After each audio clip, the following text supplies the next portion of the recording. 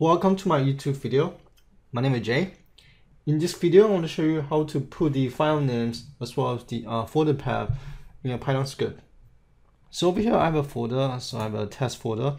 And here I have some random files, mostly Excel files.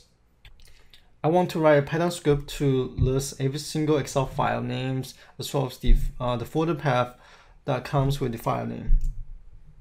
So let's go ahead and go to the uh, Python environment.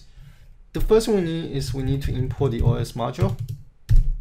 Next, uh, I'm going to create a folder path variable. So here's my folder path, and I'm just going to grab the folder path and copy and paste over. So I'm going to use the raw string, so the R, and to convert everything to uh, raw text string. And then I'm going to replace the, uh, the backward slash with the uh, with double backward slash.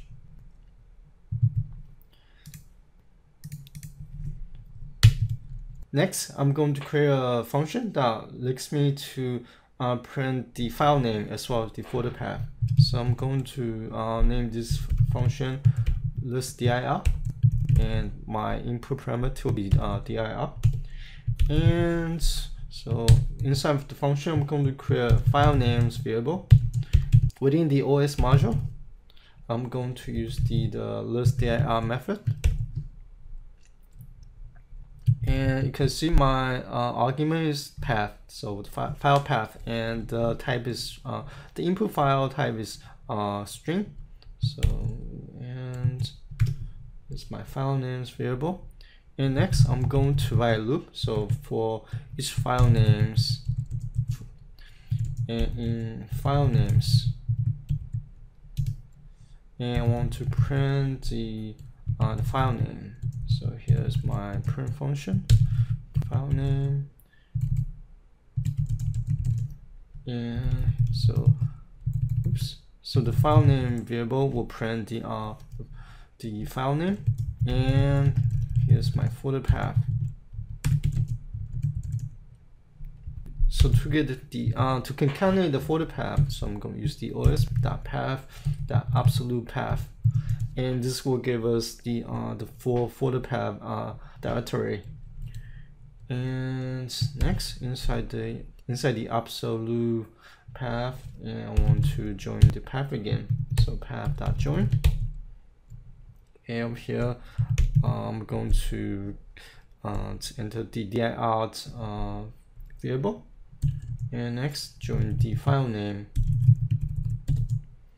and slash I'm going to separate each uh, so uh, each batch by by a new line. So backward slash dot n so this will create a new line an empty uh empty line actually. Okay now we're finished with our function and let's write the uh the main module.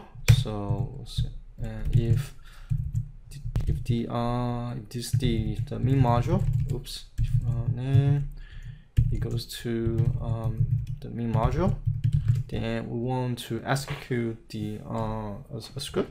So we'll use the function that we just created and we'll provide the parameter which is the uh, for the for the underscore path variable.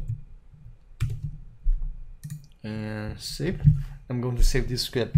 Now if I run this script and we should get all the file name and for the with the file name. Oops. Uh, looks like this uh, a typo somewhere. File name is not defined and let's check.